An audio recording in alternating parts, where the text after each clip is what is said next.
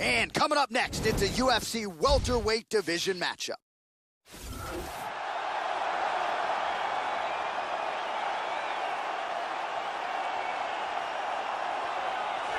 Well, what a pop from the crowd as this guy makes the walk. Such a well-rounded fighter, and you got to think when the opponent breaks him down on film, not a lot of weaknesses jump out of the video. This is a true mixed martial artist. May not stand out in any one area, but plus skills across the board.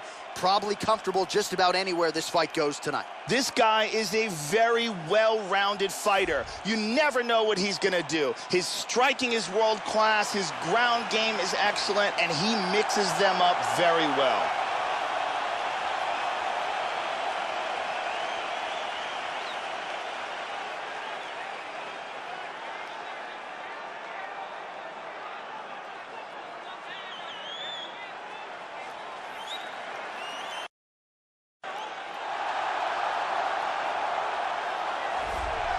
Well, it's a rare skill for a fighter to be able to stand in the pocket and avoid taking significant damage. But if you've watched the film on this young fighter, that's exactly what he's able to do. He frustrates and exhausts his opponents, and he stays pretty relaxed because he's so defensively sound. He uses movement and defense to set up his offense, consummate sticker and mover. He gets his head off of the center line, and even when you think you have him in a compromising position, more often than not, he's able to swivel that head and get out of harm's way.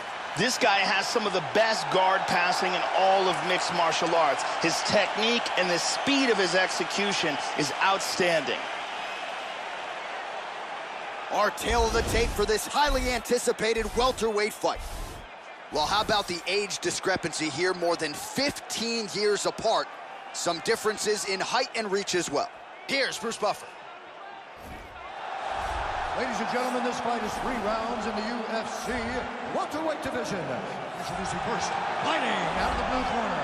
This man is a Muay Thai kickboxer and Jiu-Jitsu fighter, making his professional debut here tonight. He stands 5 feet 6 inches tall, weighing in at 156 pounds. Fighting out of Long Island, New York, USA, Mr. Tenacious.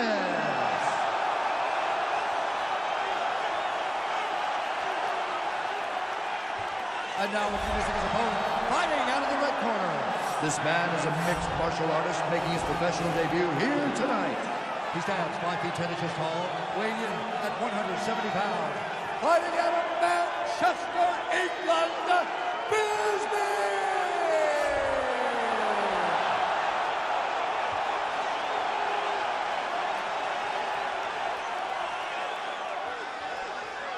And when the action begins, our referee in charge, Dan Miragliotta. So Dan Miragliotta shares the cage. Ready. Ready. Here we go. That one hurt. Nice kicks. Oh, doing a damn good job with those leg kicks, Joe. And now you'll start to see his opponent slow down. Oh! He's got him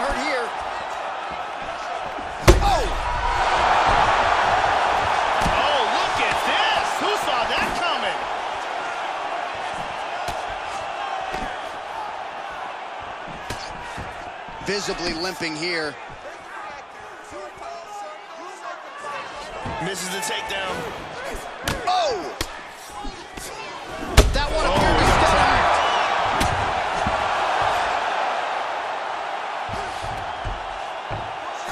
Back to the feet. Well, he's playing with fire here, Joe. He continues to be vulnerable to that jab by almost leaning into it right into his opponent's range. Got to find a way to move those feet. Oh! Oh!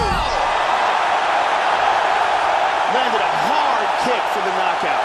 I should say so. A tremendous kick to end that fight tonight.